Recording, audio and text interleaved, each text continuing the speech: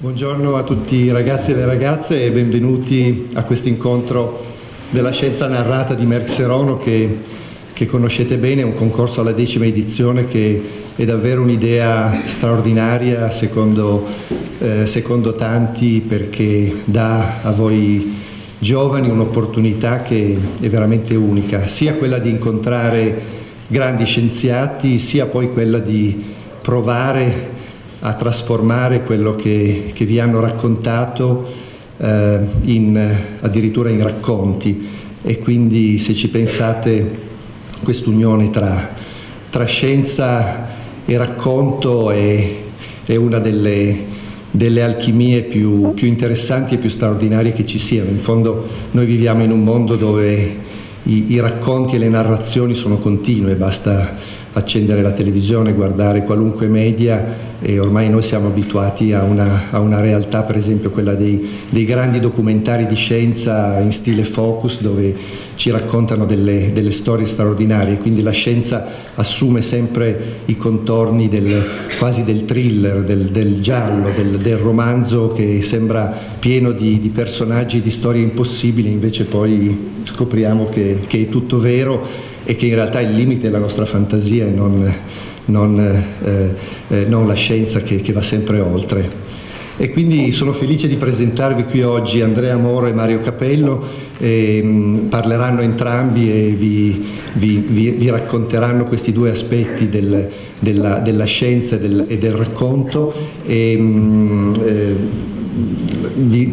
per chi non lo conoscesse, Andrea Moro è uno dei grandi linguisti italiani Mm, vi, vi, affascinerà immediatamente. Lui ha fatto molti libri, ne ricordo uno che si chiama Breve storia del verbo essere e se provate a leggerlo eh, immediatamente vi, vi eh? Vi addormentate? No? no, in realtà vi, vi, vi si accenderanno delle, delle, lucine in testa perché eh, io per esempio non avevo mai pensato che il verbo essere, cioè dire un, una semplice parola che è con l'accento, eh, provocasse delle possibili tempeste, per cui c'era questo filosofo Russell che era sconvolto da questo verbo e il professore si è divertito a fare questo gioco di partire da Aristotele e Platone e arrivare fino alle neuroscienze di oggi, quindi ha messo insieme in pratica tutta la storia dell'umanità e del pensiero semplicemente usando forse la, la, parola più breve che esiste, che è con l'accento, quindi visto che oggi si parla di linguaggio e che voi poi dovrete trasformare quello che sentite in racconto e quindi in linguaggio, pensate che cosa si nasconde nel linguaggio, quanto sia incredibilmente complicato e straordinario, basta questa parolina, questa lettera che, che scatena un mondo. E quindi lascio la parola al professor Moro che ci apre la porta su questa realtà. Grazie mille, grazie di questo invito e a voi di essere qui. In realtà mi ha fatto venire voglia di cambiare argomento, però mh, mm, cercherò di mantenere le promesse. E c'è un'altra cosa che eh, sembra provata tra di noi. Io volevo iniziare, dunque vi spiego cosa faccio oggi. Io vorrei cercarvi di portare, eh, cercare di portarvi l'esperienza di una persona che è rimasta affascinata dalle lingue e ha incontrato dei neurologi che gli hanno dato retta ed è andato avanti a esplorare quello che c'era nelle grammatiche nel cervello. Siccome non voglio fare una lezione ex cattedra, ho pensato di farlo portando, guardate io potrei anche alzarmi, non è che cambi molto, eh, però eh, mi alzo stesso. Eh, quello che voglio fare è portarvi l'esperienza di due esperimenti, va bene lo stesso per le telecamere, si vedi che... E per iniziare in realtà avevo pensato a una cosa che si allaccia veramente a una parola che hai detto tu e sembra veramente eh, preparata. Ho preparato la citazione di uno dei gialli più interessanti della storia dell'umanità, parlando in un liceo classico lo riconoscete dopo tre secondi, ma anche non di un liceo classico. E il giallo eh, c'è questa persona che deve trovare un colpevole e se non lo trova sono guai per lui e la sua gente. E guardate cosa dice. Accade quel che deve accadere. Io voglio vedere il seme da cui provengo, anche se è umile. Sono stato generato così, non potrei diventare altro, dunque voglio andare fino in fondo nel conoscere la mia origine. Lui capisce che per um, trovare il colpevole deve capire da dove viene. Ovviamente sono i versi dell'Edipo Re. C'è una cosa molto interessante, se voi comprate, naturalmente voi venendo da un liceo, anche io ho fatto liceo classico come voi, non so ehm, se voi le leggete tutte, in, tutte in, la sera prima di dormire, vi, vi rileggete tutte le tragedie, Quando arrivate a, all'Ediporè siccome siete stanchi, li comprate in traduzione, vedrete due parole strane. Questa parola è seme e origine. Nella maggior parte delle traduzioni in commercio è tradotto con un'unica parola, soprattutto nelle edizioni anglosassoni, che erano quelle che avevo io quando ho iniziato a ristudiarmi l'Ediporè. Ehm, in greco c'è tosperma e ogenos. In inglese è origin and origin è stranissimo perché i greci avevano molto ben presente quando tu parli di, origine di una persona, parli di due fatti diversi. Una è la tua origine come seme individuale. Io, Andrea Moro, che a un certo punto ero una morula, una cellula, eccetera, eccetera, il mio seme. E poi c'è la sequenza di semi che mi hanno preceduto, cioè la mia stirpe. Ecco, io credo che la passione verso il linguaggio dia una specie di prospettiva naturale, speciale su queste due origini. E per far questo cercherò di portarvi attraverso eh, questa indagine del linguaggio e del cervello c'è una sfida che sta appassionando tutti i laboratori di neuroscienze del mondo. Intanto da dove parte? La sfida parte da una consapevolezza, cioè che il linguaggio dipende dal cervello. Guardate, non è così banale. Per Aristotele, che tanto scemo evidentemente non era, il cervello era il radiatore del corpo, serviva per raffreddare il sangue. Il centro emotivo del corpo era il cuore. Questa visione di psicologia cardiocentrica permane in alcuni relitti linguistici. In inglese eh, sapere le cose a memoria si dice know something by heart. Ora non è che gli inglesi siano questi grandi romanticoni, se dicono by heart è perché e poi anche dal punto di vista fisiologico, voi dite, guarda, volevo dirti una cosa, ho il cuore in gola, mi batte il cuore. È evidente che il correlato fisiologico del cuore era immediatamente messo in relazione ai fatti emotivi. E invece c'è stato uno spostamento di attenzione verso il cervello, si è pensato che il cervello controllasse il linguaggio, ma c'era una grande domanda nell'Ottocento ed era quando il cervello reagisce col linguaggio, lo fa come fa il fegato quando digerisce? Cioè, se voi mangiate un peperone o un, un cucchiaino di yogurt, non è, il, non è, che il, fegato ha l'area del peperone e l'area del cucchiaino di yogurt. Il fegato reagisce tutto insieme a seconda delle sostanze che mettete. E quindi avevate due possibilità, il cervello poteva essere come il fegato, cioè reagisce tutto insieme, o sottoorganizzato.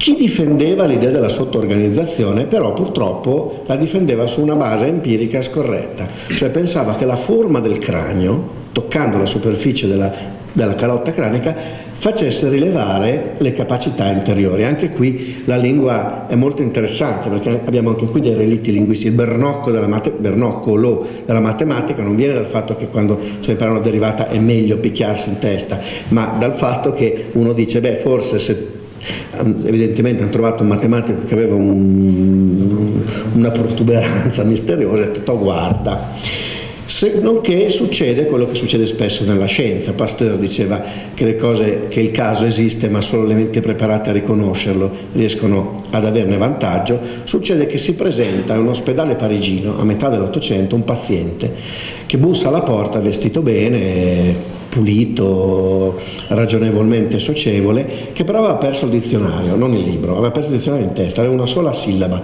tan. Aveva ancora tutta la mimica, vedete, sì, io facendo così lui avrebbe continuato a usare le mani, l'espressione del volto. Questo paziente viene ricoverato, viene soprannominato Tan o Tantan, a un certo punto inizia una paresi dalla parte destra del corpo, viene ricoverato in chirurgia, il paziente muore, deve essere stato probabilmente l'esito di una sifilide che a quel punto aveva degli esiti neurologici importanti, il chirurgo apre il cranio e trova un buco che lui chiama rammollimento nel cervello di Tantan. Il dottore si chiamava Broca e da allora si è capito che il linguaggio deve essere associato non solo al cervello, ma a una parte specifica del cervello. Era la prima prova, anche se gli storici della medicina pensano che forse ci fu un pavese che eh, aveva avuto un'indicazione interessante sulla, sulla visione, ma insomma noi ci limitiamo ora a questa versione canonica della neurofisiologia, si dice la prima prova che il cervello fosse sottoorganizzato, indipendentemente ovviamente dalla struttura della calotta cranica che eh, viene poi classificata come neuro che viene classificata come eh, frenologia, le radici eh, ovviamente sono ovvie per voi. Ora, la grande sfida qual è? È chiedersi se non solo il cervello, se non solo il linguaggio, ma le singole regole delle lingue dipendono anche queste dalla struttura del cervello. Quindi non più solo il linguaggio come atto comunicativo, inteso integralmente, ma la struttura delle grammatiche.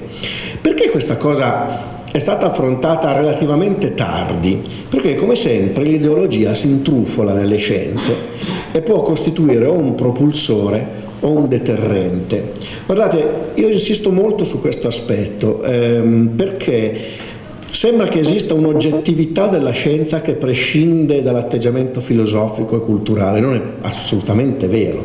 Nella più oggettiva delle scienze voi trovate sempre un'infezione filosofica che può agire in un modo o nell'altro. Nel caso del linguaggio era evidente qual era il problema e per, dirvi, per illustrarlo vi faccio leggere un pezzettino di una citazione della prefazione di un libro fantastico, si intitola I fondamenti biologici del linguaggio. È un libro scritto da uno dei più grandi neuropsicologi ehm, del secolo scorso che lavorava a Boston al Massachusetts General Hospital. Sentite cosa dice. Una ricerca biologica sul linguaggio appare necessariamente paradossale, dal momento che viene così ampiamente ammesso che le lingue consistono in convenzioni culturali di natura arbitraria. È relativamente recente questo testo, c'è un testo del 67, non ha neanche 50 anni, quasi 50 anni. Lui dice, se il linguaggio fosse tutto arbitrario, non ha senso cercare nel cervello il circuito. Perché? Facciamo un esempio. Voi conoscete i semafori, hanno tre luci, rosso, verde e giallo. Non c'è niente di intrinsecamente legato al colore giallo nell'attesa. Poteva essere una luce bianca, avere i semafori, poteva essere una luce invertita. Vai, in alcune città funziona così, quando c'è rosso tu vai, quando c'è verde freni e così mm, ci si autoregola in qualche modo. Ehm, quello che è chiaro è che le scelte convenzionali non devono lasciare traccia, tu casomai nel cervello hai la zona che percepisce il giallo, non che fai in modo che dal giallo attendi. Oggi le cose sono molto cambiate, chi di voi studierà neuroscienze, neurobiologia o, o, o, medicina si troverà di fronte a questo volume che credo che pesi non meno di 3 kg, ehm, con 10 di questi vi fate un muro, è, il, è un libro scritto da Eric Kandel che è ehm, un premio Nobel per la medicina o fisiologia che sta a Columbia University. Vi, vi segno un trucco, questo libro bisogna fare un mutuo per comprarselo, però Sapete che su Amazon c'è la possibilità di avere ehm, un esempio, no? quando comprate la versione elettronica, dica sample. Il sample di questo libro qua è il primo capitolo, il primo capitolo è quello sul cervello ed è quello nuovo, quindi è gratis. Se avete voglia ve lo scaricate, avete un, un programma qualsiasi, è molto interessante, parte dalla, dal primo geroglifico, pensate, un libro di neuroscienze, dove si parla di cervello in un trattato scritto e arriva fino agli esperimenti recenti. Quello di cui voglio parlarvi ovviamente non è il linguaggio tutto, perché il linguaggio tutto è come il mondo tutto, nessuno parla di tutto. C'è un bellissimo saggio di tanti anni fa eh, scritto da Ludovico Geimonat, che non so se è ancora in commercio, eh, che si intitola Galileo Galilei, PBA in Audi, dove dice l'avanzamento di Galilei nella scienza non è stato quello di far diventare la scienza qualcosa che comprendesse il mondo, ma al contrario, che riducesse l'osservazione a poco. La scienza inizia quando tu fai quello che fa Kubrick quando, eh, quando filma, cioè fa zoom in se, voi siete, se a voi piace il cinema come piace a me, sapete che una delle marche tipiche di Kubrick, se non avete visto Shining, chiedo ai professori di metterlo in programma, almeno al penultimo anno, cioè, è fantastico questo, questo zoom, eh, questa marca della focalizzazione che concentra l'attenzione, succede anche nella scienza. Su cosa ci concentriamo noi? Ci concentriamo sulla sintassi ehm, cioè sulla capacità che gli uomini hanno di ricombinare dei segni ottenendo significati nuovi. Faccio un esempio molto semplice anche qui. Se vi do tre parole, Caino, Abele e uccise, voi riuscite a fare almeno due frasi. Caino uccise Abele, Abele uccise Caino. Stesse parole, ordine diverso, scenario completamente diverso. Siamo gli unici animali che prendendo degli elementi minimi e variandone l'ordine riescono a dare significati diversi. Questo non è un atteggiamento mh, individuale o preferenziale. Pensate che Steve Anderson alla conferenza internazionale della di Linguistica Americana ridisse nel 2008 i sistemi di comunicazione di tutti gli altri animali si basano su un numero limitato e fisso di insieme di messaggi discreti.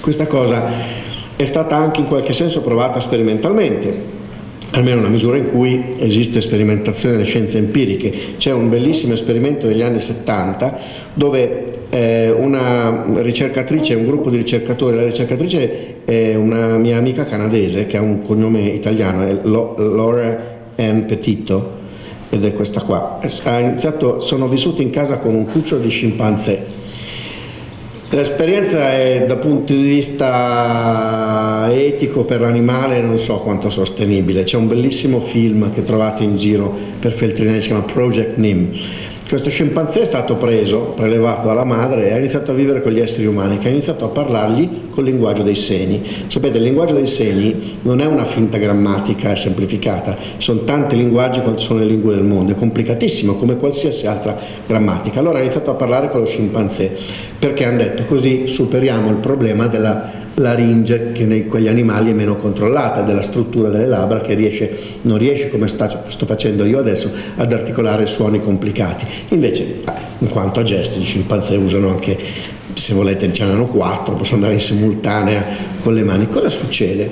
Succede che questo scimpanzé inizia a prendere delle parole e loro le misuravano. Quando eh, Nim, si chiamava Nim Chimsky, chi conosce retroscena si immagina come mai, ma insomma poi vi, vi spiego, ma ehm, quando Nim usava la stessa parola per, eh, cin- per, tre volte consecutive in modo giusto o con più di tre persone in modo giusto, veniva detto conosce la parola. Bene, Nim arriva a conoscere 130 parole, 128 per la precisione. 128 parole sono tantissime, se noi sapessimo, se io sapessi 128 parole di giapponese potrei vivere a Tokyo tutta la vita, perché ci stanno tutti i verbi principali, nomi, oggetti. Poi cos'è successo? Quindi li hanno confrontati con quelli di un bambino. Nim è un qualsiasi bambino, come quando noi eravamo bambini, abbiamo iniziato a produrre esattamente eh, anche i tuoi cuccioli, che adesso che due anni e mezzo stavi dicendo gemelli, oltretutto quindi interessantissimi anche da tanti punti di vista. Adesso diventano delle cavie del professore. No, poverini, no. Infatti i linguisti non fanno figli perché per statuto deve essere... Cosa succede? Succede che a un certo punto Nim inizia a usare le parole in serie, come fa un bambino, solo che su 19.000 frasi non una frase si distingueva dall'altra per l'ordine. Cioè per Nim dire Caino uccise Abele o Abele uccise Caino è la stessa cosa, perché fotografava solo gli attori e l'azione, non c'era sintassi. In un lavoro molto recente che non cito qua, ma tipo del, di qualche mese fa, la stessa cosa è stata fatta con i gorilla, che anche quelli ci sono grossi, però sono, sono intelligenti. Eh, anche con loro stesso risultato. Insomma, la morale è che aveva ragione Cartesio. Cartesio nel metodo a un certo punto dice una cosa straordinaria eh, non c'è una, nessuna persona, dice neanche gli idioti, io di solito salto questa cosa perché poi ho paura dell'associazione idioti che magari mi fa causa, perché se c'è sempre, eh, non c'è, potete ridere quando dico così, se mi fate sentire in colpa. Ehm, dice, non c'è nessun animale che messo in una condizione speciale riesca a utilizzare la sintassi. Dunque, il primo punto che concordo con voi è che per osservare il linguaggio guarderemo la capacità di ricombinare all'infinito le parole dandone un significato. Questa è l'impronta digitale del codice di comunicazione umano.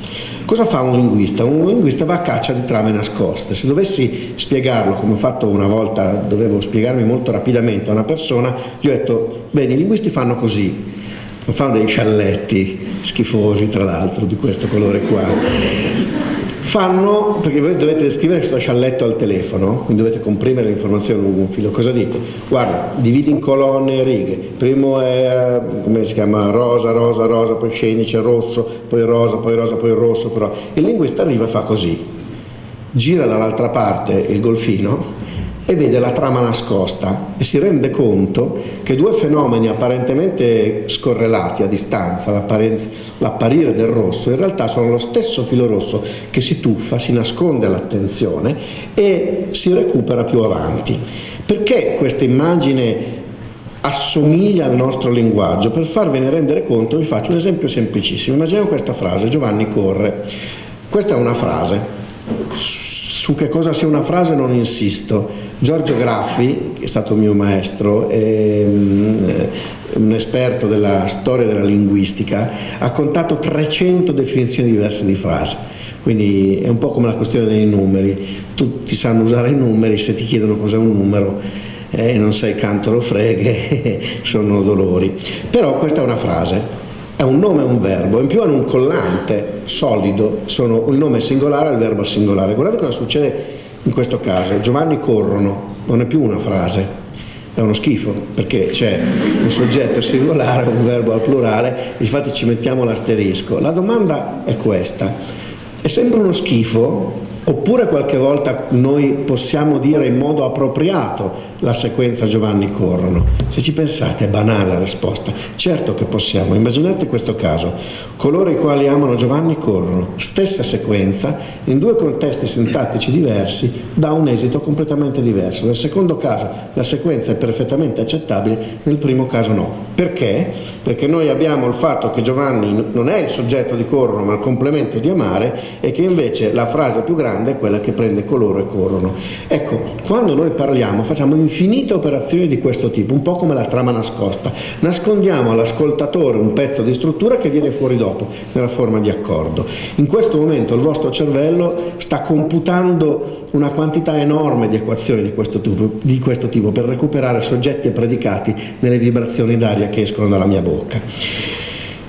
L'altro ingrediente fondamentale è che la cosa fondamentale a cui ha portato questo tipo di analisi è stato proprio un fatto eh, che è stato mh, mm, proprio ehm, enunciato eh, nella struttura dove si è formato uno dei vostri professori, eh, la scuola normale di Pisa, e in quegli anni, non so se tu eri, sei riuscito ad assistere alla sua conferenza.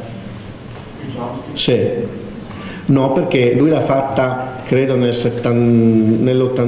nell'79-80. Ecco, vedi, tu giustamente eri nella classe a fianco della rivoluzione. Scapita sempre anche a me, la legge di Murphy. Dice cosa è successo là? La rivoluzione? E beh, io non c'ero. E lui enuncia questo principio fondamentale. Il linguaggio è un insieme di valori specifici, di parametri in un sistema invariante di principi. Riduce Babele in un certo senso a un fatto combinatorio è meraviglioso per quanto riguarda il linguaggio, non è meraviglioso per quanto riguarda la scienza, perché noi sappiamo, questo è un manoscritto fantastico che ho trovato in rete, la rete è una miniera meravigliosa, se sapete usare, questo è un manoscritto di Mendeleev della tavola periodica degli elementi, quello che se dovessi scegliere un tatuaggio, non, non ho tatuaggi, vi assicuro, ma dovessi sceglierne uno mi farei fare la tavola periodica oh, sulla schiena ci sta, magari, cioè, secondo me ce n'è da leggere anche poi su di me, c'è, sì, sì, tutte le serie alifatiche, cioè. e questo è molto interessante, cioè Chomsky guardando dietro la trama nascosta delle strutture riesce a, riesce a capire che questi tuffi che fa il linguaggio sono in qualche modo universali. Ora, questo è quello che sa un linguista, Vedete, gli ingredienti sono due a questo punto. Il linguista che guarda le trame e il neurobiologo che guarda il cervello. Tutte e due si guardano di lontano e sanno che in qualche modo dovranno interagire.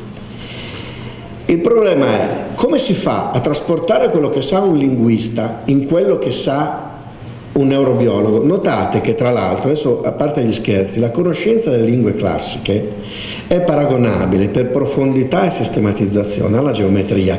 Sono quelli lì i secoli decisivi, i secoli dell'ellenismo, quando si definisce la nozione di piano, punto, retta e si definisce la nozione di paradigma.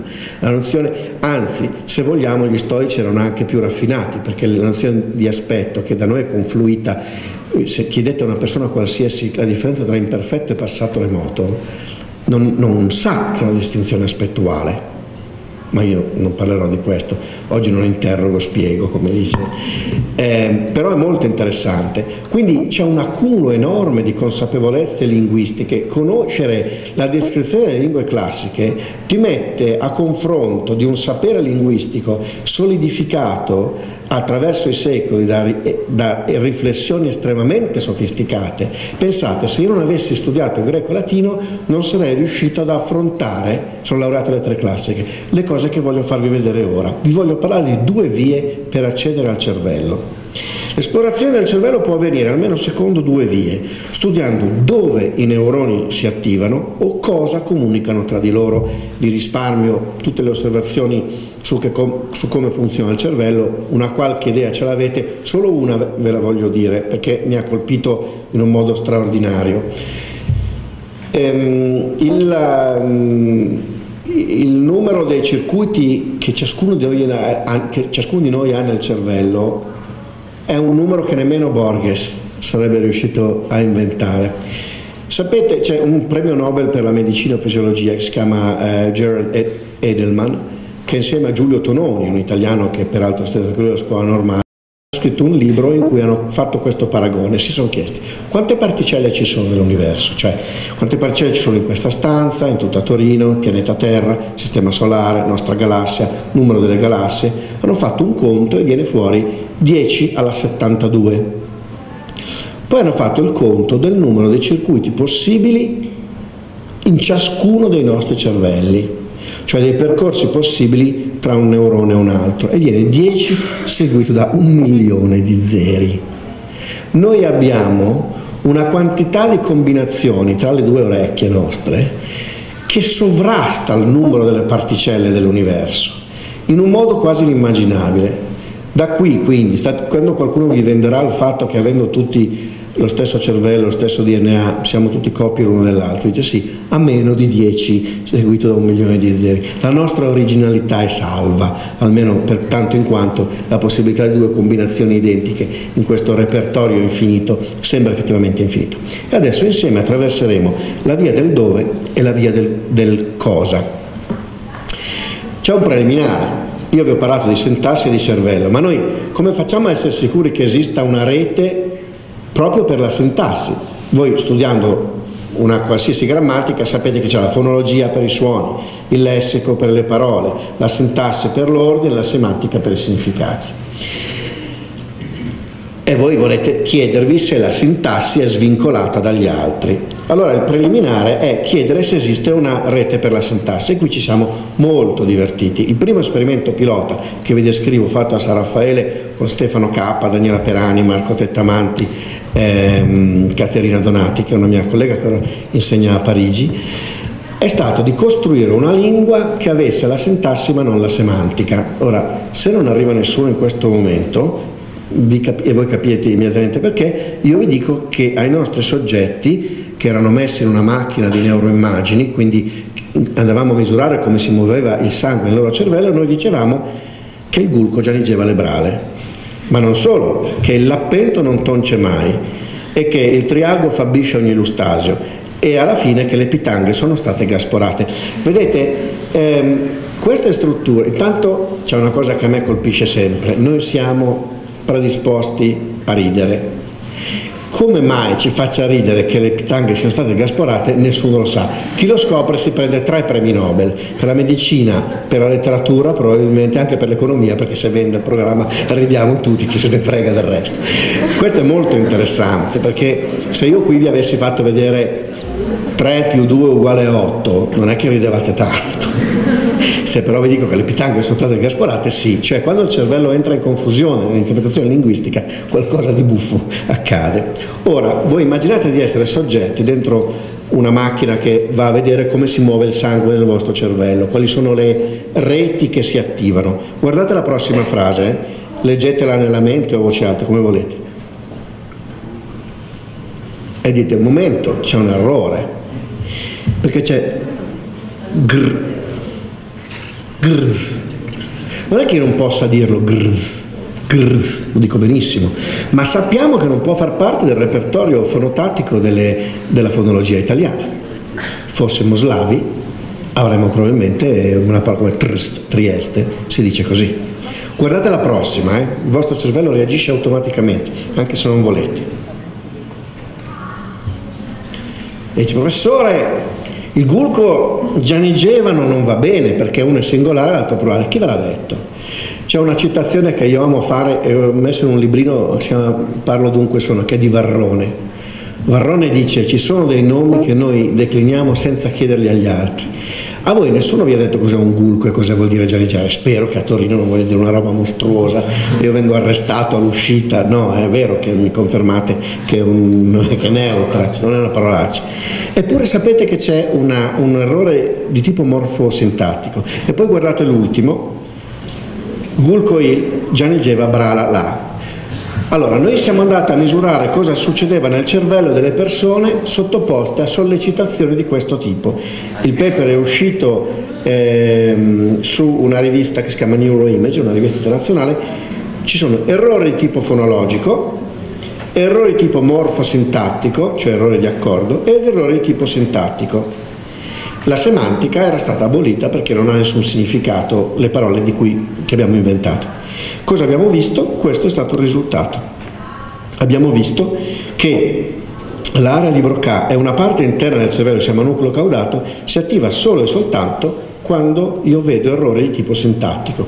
Avevamo dunque un argomento molto forte per dire che la sintassi era controllata da una rete dedicata nel cervello. Perché? Perché altrimenti avrebbe reagito il cervello allo stesso modo per tutti gli errori. Invece per un certo tipo di errore esiste una rete dedicata. Adesso possiamo affrontare, vi ricordate, io sto cercando di seguire due vie. La prima è la via del dove, dove si accendono i neuroni nel cervello e poi c'è quella, la sfida più grande che lascio negli ultimi minuti della mia presentazione, la via del come, eh, la via del cosa.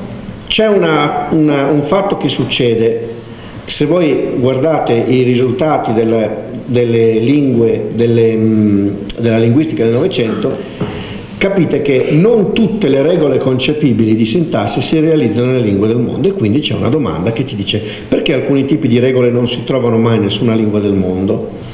Quale tipo di regole, adesso siccome manca in realtà soltanto un quarto d'ora, io ehm, salto un pezzettino e vi faccio subito vedere una regola impossibile.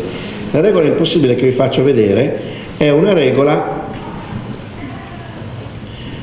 che dovrebbe darvi nel cervello, ah, grazie, una sensazione simile a quando cercate di decifrare un'immagine di questo tipo. Ne ho trovate tante, questa per me è la più difficile, non riesco a vedere il punto in cui voi ci vedete? Sì, sì. Adesso no. Ah, adesso sì, ah, sì, sì.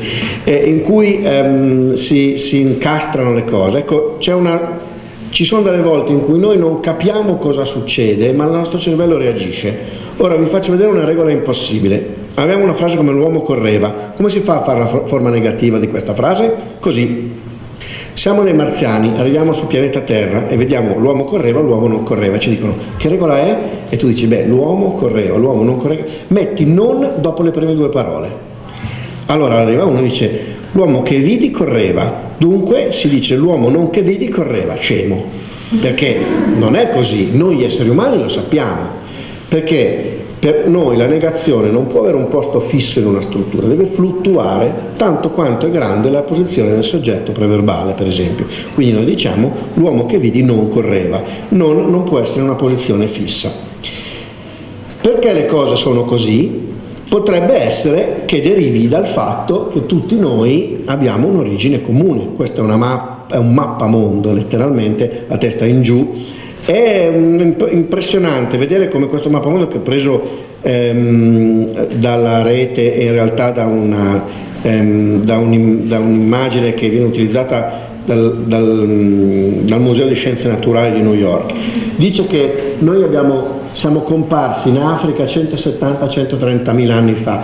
Pensate, in pochissimi anni questa datazione si è abbassata di molto, adesso ci danno circa 100 mila anni a testa. Li portiamo bene evidentemente, ma insomma chi più chi meno. Ma, ehm, potrebbe essere quindi che l'assenza di regole col non fisso è dovuta al fatto che la prima lingua non aveva quelle regole, tutte le altre derivano da quella prima lingua e ereditano quell'assenza. Però in effetti sarebbe un po' sospetto questo fatto. E allora cosa si può fare? Si può fare un esperimento. L'esperimento utilizza ancora una volta le tecniche di neuroimmagine e qui siamo al cuore della prima parte, quella del dove nel cervello. Cosa abbiamo fatto?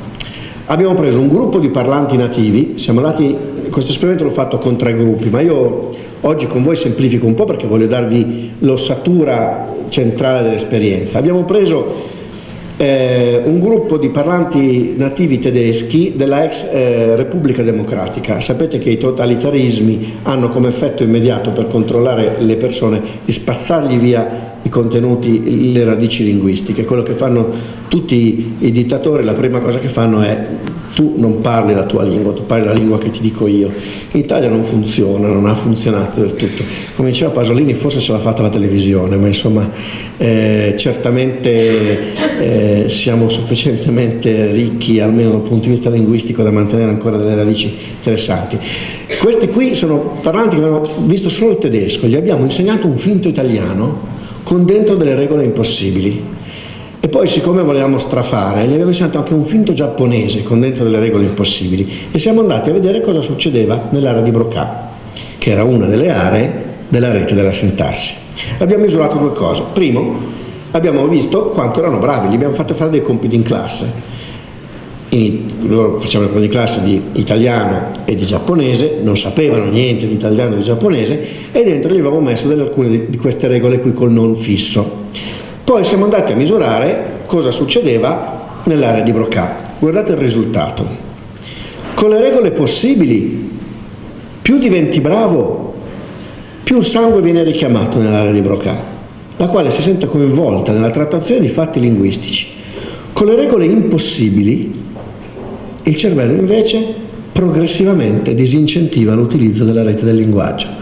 Dunque quello che accadeva, quello che è accaduto, è che il cervello funziona in un certo modo come un setaccio naturale che sa già qual è la teoria linguistica e sa già che le regole con le posizioni fisse non esistono.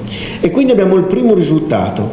I confini di Babele, cioè il limite delle lingue, sono il prodotto dell'architettura del cervello umano e non il risultato di una convenzione arbitraria di natura culturale, perché non si può arbitrariamente attivare un circuito cerebrale. Questo è evidentemente il primo punto essenziale che l'incontro tra la linguistica e le neuroimmagini ti danno quando tu cerchi di eh, analizzare eh, questo dominio. E ora invece affrontiamo il secondo passaggio ed è quello della via del cosa.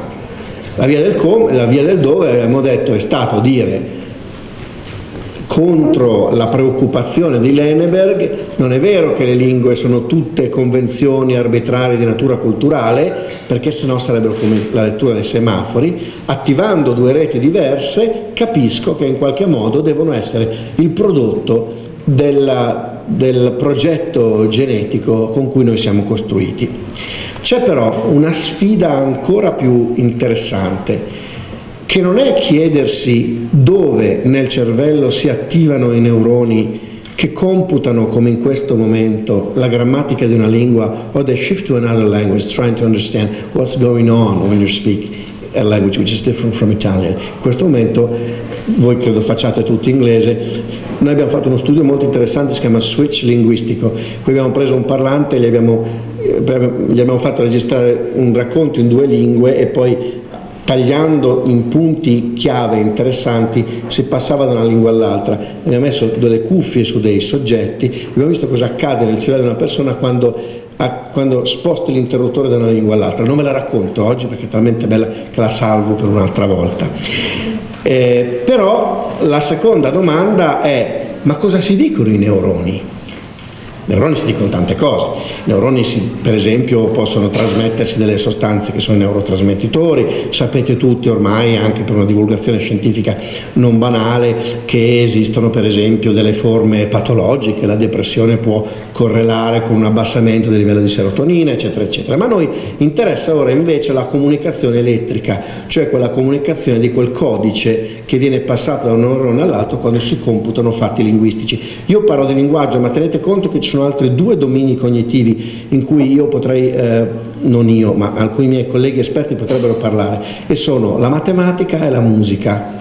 Musica, matematica e grammatica, e forse i medievali ci vedevano più lungo di noi, sono evidentemente il cuore pulsante della mente dell'uomo. Esplorare questi domini ci fa vedere delle somiglianze interessanti. Ma ora vi voglio chiedere banalmente questa cosa, di cosa è fatto il linguaggio?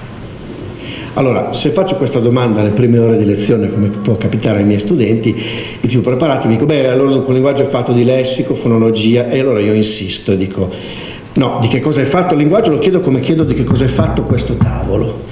E allora, per chiedere cosa è fatto il linguaggio, devo avere un modellino di come è fatto il linguaggio, cioè come è fatto fisicamente il linguaggio. Il linguaggio vive in due mondi, vive fuori di me e dentro di me. Fuori di me vive sotto forma di onde acustiche. Le onde acustiche hanno bisogno di un mezzo che è l'aria e la compressione. Se io all'improvviso eh, dovete dire telepaticamente, dovete ammettere di aver capito. Se io smetto di comunicare il suono, cioè di far vibrare perché non esce più l'aria dalle corde vocali, voi non capite più. Vero?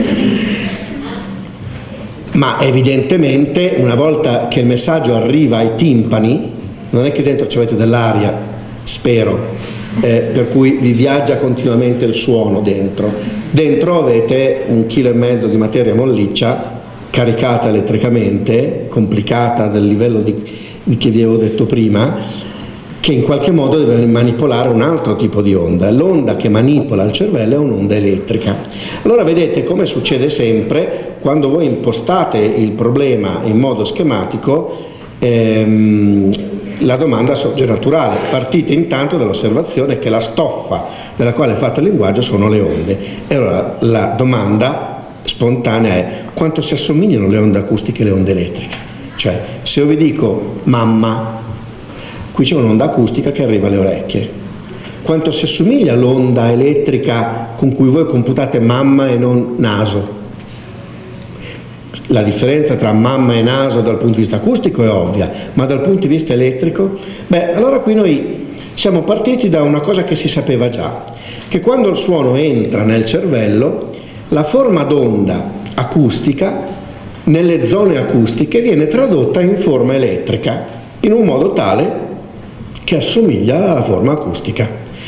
Un mio collega Stefano Cappa, un neurologo con cui appunto avevo lavorato a San Raffaele, ehm, che ora lavora con me alla Scuola Universitaria Superiore a Pavia, ha assistito a un esperimento straordinario l'anno scorso al congresso di neuropsicologia di San Diego dove a una persona a cui veniva fatto sentire The Wall dei Pink Floyd andavano a beccare il segnale elettrico nelle zone acustiche, lo registravano, l'hanno rifatto sentire, tu risenti The Wall. Quindi vuol dire che nelle zone acustiche la capacità che un oggetto meraviglioso come l'orecchio umano ha di trasdurre un'onda acustica scomponendola in varie sottocomponenti in un'onda elettrica è straordinario. Però noi non siamo fatti soltanto di fatti acustici, avete capito bene che noi abbiamo anche altre aree, per esempio quelle che computano la struttura grammaticale. Qualcuno aveva visto che anche nelle aree non acustiche trovavi traccia della struttura eh, sonora. E allora ci siamo chiesti la cosa radicale. Ma cosa capita quando invece che il suono entra in noi, esce da noi? Certo che a un certo punto passa dalla bocca, dalla lingua, dall'aria e viene modulata l'aria fino ad arrivare, ma prima di arrivare alle labbra, alla lingua, alla bocca, cosa succede al segnale dentro? E allora eh, abbiamo utilizzato una tecnica molto diversa rispetto a quelle precedenti di neuroimmagine. Abbiamo utilizzato una tecnica eh, ora, di cui ora vi parlo, ma che passa attraverso costui. Essendo io cattolico sono obbligato a citare un santo per ogni... In questo caso è Sant'Ambrogio, a cui sono affezionato per via di quello che pensò un altro santo vedendo fare Sant'Ambrogio una cosa che non era evidentemente, non so se lecita, ma comunque non comune nel Medioevo. Guardate cosa dice questa persona che guarda Sant'Ambrogio fare questa cosa non lecita. Quando Ambrogio leggeva, i suoi occhi percorrevano la pagina e il suo cuore ne carpiva il significato, ma la sua voce era silente e la sua lingua ferma. Questo è Sant'Agostino che vede Sant'Ambrogio che legge in silenzio. C'è una parola addirittura con cui la gente chiama questa azione che è endofasia. Dunque noi siamo, abbiamo iniziato, vedete questa, questa congiunzione avversativa, contrappositiva, ma è, è evidentemente un segnale forte che ti fa capire che questo non era eh, un fatto scontato, l'endofasia era una sorpresa. Ecco, noi abbiamo allora provato a misurare cosa accade nel cervello quando invece di far uscire dalle labbra, dalla voce, una forma linguistica che ho pensato, la penso e basta. Il risultato ve lo immaginate se non sarei qui a raccontarvelo, ma comunque come abbiamo fatto a farlo? Abbiamo utilizzato una tecnica completamente diversa. In questo caso abbiamo utilizzato la tecnica della ehm, chirurgia a pazienti in stato di veglia. Alcuni pazienti, tipicamente pazienti oncologici che hanno dei tumori cerebrali, per, eh, quando il chirurgo deve eh, estrarre il tumore dall'interno del cervello deve tagliare la superficie della corteccia Purtroppo nel tagliarlo potrebbe tagliare alcune delle vie che il soggetto sta utilizzando per, per un compito. Allora cosa fa? Per facilitare il recupero e danneggiare il meno possibile il paziente, interferisce con un, una punta elettrica nella zona che taglierà e col paziente che colloquia e dove il paziente smette di compiere un compito, colloquiare, suonare, cantare, stringere la mano, qualsiasi cosa che sia correlata con quella zona, sa che lì non deve tagliare. Contemporaneamente può misurare l'attività elettrica della superficie. E dunque quello che noi abbiamo fatto è stato di andare a vedere cosa succede al segnale elettrico quando, dentro, quando sta dentro la testa. Ora, per far questo, e qui è il bello di questi domini scientifici in cui la distinzione, come vedete, tra umanistico e scientifico non ha senso, il mondo è uno solo. Io parto da una laurea in lettere classiche, abbiamo pubblicato questa cosa su PNAS lavorando con modelli matematici e con neurochirurghi. Per fortuna il mondo non si fa incanalare nelle strettoie accademiche e quindi si presta ad essere indagato con tutti gli strumenti possibili. Quello che abbiamo fatto è stato un confronto matematico, sarebbe veramente troppo complicato farvi vedere la struttura matematica, ma mi salva una cosa, che il risultato della matematica in questo caso è visibile in un'immagine. E allora vi faccio vedere due grafici che corrispondono all'attività fasica ed endofasica e se voi vedete nelle due strutture a meno di mh, mm, mm, questioni particolari e di tipo eh, periferico, in assenza di suoni, le onde elettriche dei neuroni riproducono le onde acustiche. Noi siamo riusciti a ottenere il primo risultato per cui i neuroni comunicano tra di loro in un modo tale per cui anche nel silenzio, quando noi pensiamo a una parola, le diamo la forma d'onda elettrica che avrebbe il suono della parola. Allora quel fatto illusorio per cui quando noi stiamo in silenzio e pensiamo a una parola, se noi dobbiamo pensare a casa, noi ne pensiamo col suono, non pensiamo soltanto alle finestre, ai muri, alla, alla struttura, la pensiamo col suono casa, è come se nella nostra testa risuonasse, non c'è, non c'è perché non abbiamo trasmissione sonora. Che cosa ce ne facciamo noi di queste cose qui? Beh, è evidente che noi possiamo fare varie cose, creare dispositivi per aiutare le forme di afasia. Steve Hawking, sapete questo grande eh, fisico di Cambridge che ha una teoria sui buchi neri straordinaria, che però ha una mh, forma progressiva di degenerazione mielinica per cui non riesce più a parlare ma è intatta la sua struttura linguistica. Se noi potessimo accedere a quell'area lì con uno strumento che ora non c'è, potremmo farlo parlare invece che andare lettera per lettera. Però potremmo anche carpire informazioni che noi non vogliamo da persone che non vogliono confessarle e mai come adesso la questione di invasione di questo tipo. Insomma noi siamo fermi a Jekyll eh? Sant'Ambrogio sarebbe... Sant'Ambrogio sarebbe contento, poi ti dà la penitenza, per dice, hai pensato, dovevi avere l'undicesimo comandamento, non pensare. Ehm, noi siamo fermi alla decisione etica, si parlava prima poi insieme della questione etica, l'etica eh, la scienza è neutra rispetto alle decisioni etiche. Un coltello lo usate per affettare il salame o per accoltellare una persona, lo decidete voi. Quello che vi dà è lo strumento. Eh, io vi ho parlato oggi appunto di strutture biologiche del linguaggio, eh, i 45 minuti sono finiti, ne prendo ancora due, per, semplicemente per finire dicendovi questo. In realtà questa visione biologica del linguaggio che potrebbe sembrare astrusa fu presa molto sul serio in questi anni, non tanto in Italia se volete. Ci fu qualcuno che disse, ma sai, io quando ti parlo ti trasmetto informazioni, ma se io ti starnutisco contro, oltre a beccarmi uno sberlone perché tu dici, la prossima volta metti la mano davanti alla bocca, ti passo comunque informazione. Pensate, non gradita, ma, non gradita, ma informazione. Qualcuno ha riflettuto su questa cosa e ha pensato che il nostro organismo, che è dotato di una quantità sovrabbondante di informazione, potrebbe ehm, imparare più delle lingue di quelle mai apprese. Questa, questa cosa fu presa talmente sul serio che Niels Jerne, eh, disse trovo stupefacente che il sistema immunitario possieda un livello di complessità che suggerisce analogie più o meno stupefacenti, ma comunque, scusate, più o meno superficiali, ma comunque sorprendenti con il linguaggio umano. Questa frase l'ha detta una mattina a Stoccolma quando ha preso il premio Nobel. La eh, Nobel Lecture, voi insieme alle Dipore, prima di andare a dormire, andate sul sito Nobel, vero?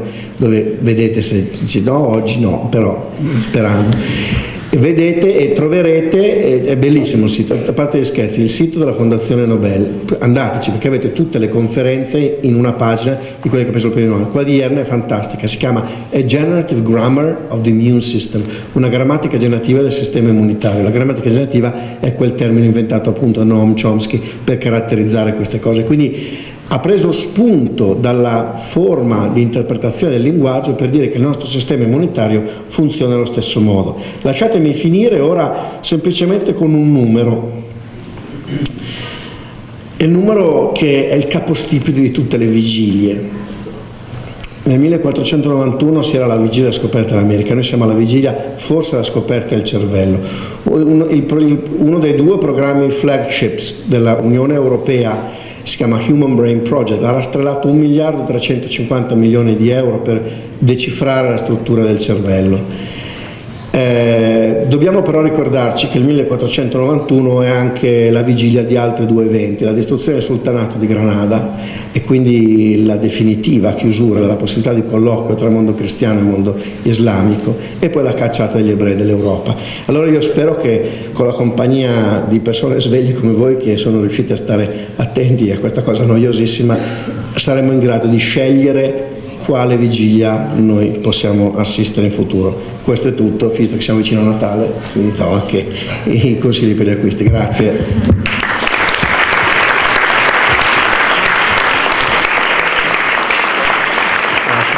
Grazie. Grazie. Eh, grazie. Solo una cosa, sono dimenticato di dirvi, nei miei vari ruoli io sono anche, mio malgrado, consigliere eh, ufficiale del ministro Giannini per la università e la ricerca. Ieri sera in colloquio le ho detto a quale evento sarei stato di fronte oggi e questa idea del narrare la scienza e lei è rimasta entusiasta da questa notizia e ho detto che gliene avrei parlato e avrei poi eh, anche diffuso le cose che avete già fatto qua. Mi ha però raccomandato una cosa, mi ha raccomandato di dire a tutte le ragazze di non lasciarsi impressionare dai modelli maschili nella scienza, tenete duro perché lo dice lei, eh? siete le più brave, io lo riporto.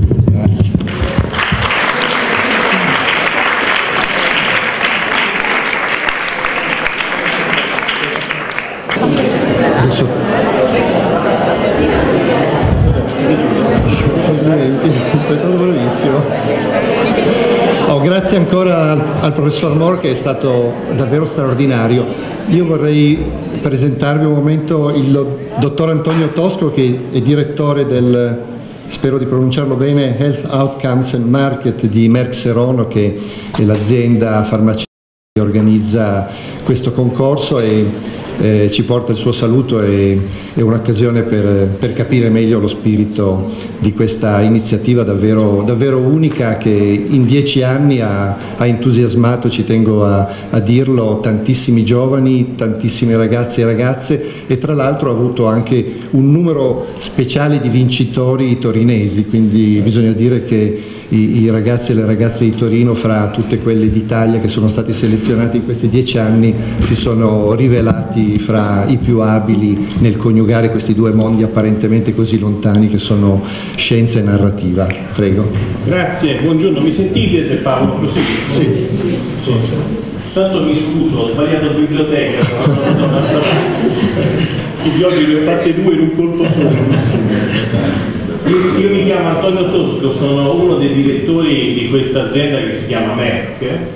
Eh, non voglio promuovere l'azienda che rappresento, ma vi voglio raccontare in qualche minuto quello che noi facciamo e perché sosteniamo questa iniziativa. Merck è un'azienda chimico-farmaceutica. Che cosa significa chimico e cosa significa farmaceutico?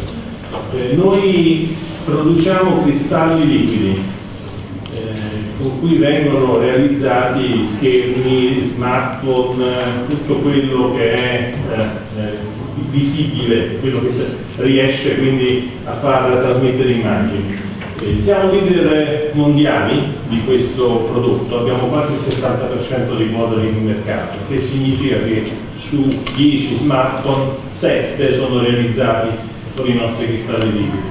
L'altra cosa che noi facciamo nel chimico eh, è noi coloriamo, noi realizziamo i pigmenti che sono le componenti che servono per colorare.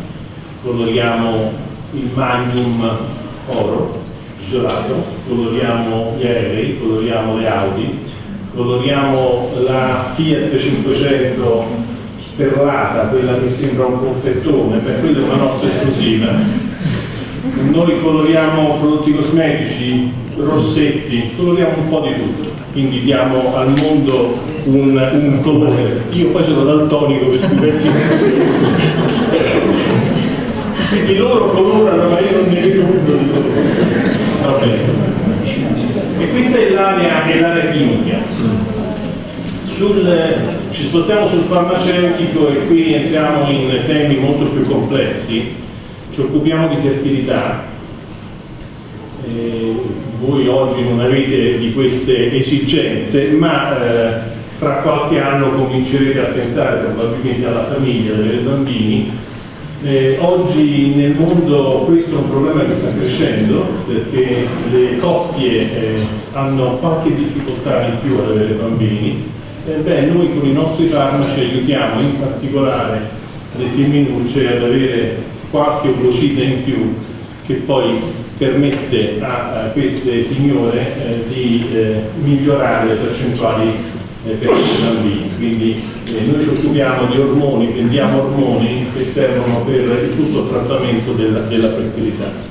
Eh, un'altra tipologia di prodotti che seguiamo sono quelli che vengono impiegati per far sì che i bambini piccolini acquistano o acquistino qualche centimetro in più che invece non avrebbero normalmente. Sono quei bambini che hanno un deficit di GH, è un ormone importante, se non si ha questo ormone si rischia di, diventare o di rimanere piccini, beh, noi questo ormone lo produciamo e in quei casi quei bambini prendono quei 7, 8, 10 centimetri in più che altrimenti non riuscirebbero ad avere e rischierebbero di essere un pochino eh, diciamo di una statura non, non, non adeguata.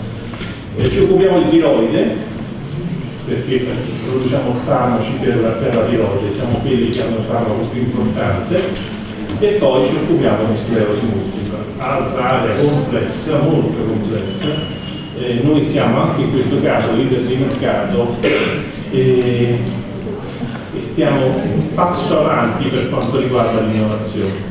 Beh, perché un'azienda che ha tanto da fare nella ricerca oncologica, nella ricerca delle malattie neurodegenerative, nel produrre pigmenti, perché un'azienda di questo tipo promuove un'iniziativa legata alla narrazione al linguaggio e alla cultura e alla scienza, perché? Beh, è per l'ultimo termine che ho usato, scienza.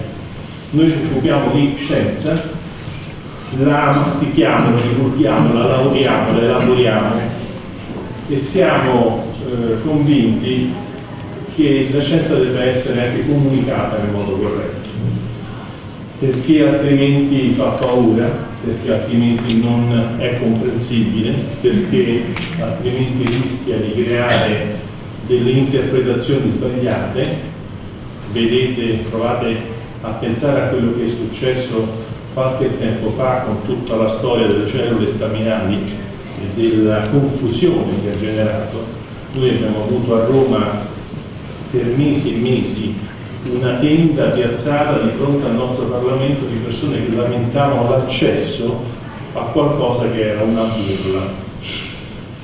Questa è una interpretazione sbagliata di quello che è scienza. Ecco, un'azienda che, che lavora sulla scienza, che lavora sull'innovazione deve anche preoccuparsi di far sì che questi concetti vengano comunicati in modo corretto.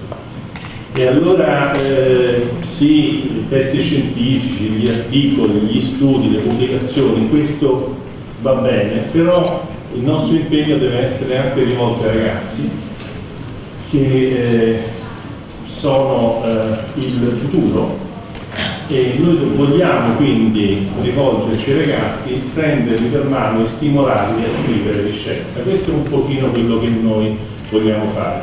Quindi noi ci crediamo, ci crediamo, eh, non ci aspettiamo che ognuno di voi scriva racconti, perché non, non è così, però eh, ce lo auguriamo, ce lo auguriamo. Oggi il linguaggio dei ragazzi è un linguaggio complesso che a me non appartiene perché faccio parte di un'altra generazione, eh, ma provare a sviluppare quei quella terminologia che si usa sugli sms, provare a raccontare qualcosa, beh, eh, credo che sia stimolante.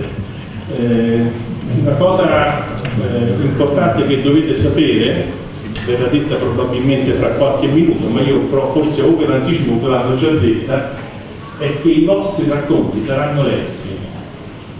Ed è eh, abbastanza unica come situazione. Qualcuno, si, eh, qualcuno avrà a cuore i vostri racconti, li leggerà, li correggerà, vi darà dei suggerimenti eh, e non li considererà dei compiti in classe, quindi non avranno un voto, ma eh, voi riceverete feedback su quello che avrete, che avrete scritto. Eh, è, una, è qualcosa credo di abbastanza particolare. L'altra cosa che dovete sapere è che eh, noi ci siamo anche presi lo scrupolo di andare a recuperare tutti i vincitori delle precedenti edizioni, quindi non abbiamo soltanto premiato, abbiamo dato un certificato, un documento, una placca e qualche soldino. Noi poi ci siamo andati a recuperare questi ragazzi, eravamo un po' curiosi di sapere che fine avevano fatto e come stavano sviluppando il loro percorso sia a livello educativo che a livello professionale non siamo ancora professionali perché stanno ancora all'università, quindi i primi vincitori, quindi ancora non sono entrati nel mondo del lavoro, eh, però li abbiamo eh, contattati, raccolti e gli abbiamo fatto vivere delle esperienze formative un pochino particolari, esperienze che magari vi potranno aiutare ad entrare nel mondo del lavoro.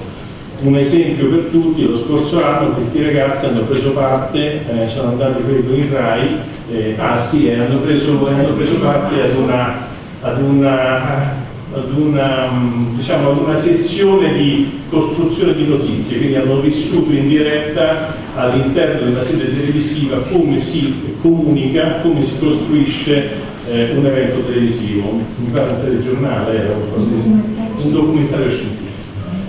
Ecco, questa, questa, questa, è la cosa che ci fa ancora più piacere, quindi andare a recuperare i talenti, i vincitori, quelli che si sono un pochino estinti e, e aiutarli un pochino a entrare nel mondo del lavoro provando a dare un pochino di più di formazione, eh, magari sfruttando i nostri canali, i nostri contatti, la nostra eh, visibilità esterna. Questo era un po' quello che vi volevo raccontare.